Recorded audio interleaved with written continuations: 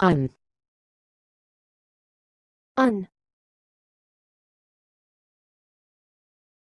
Thanks for watching. Please subscribe to our videos on YouTube.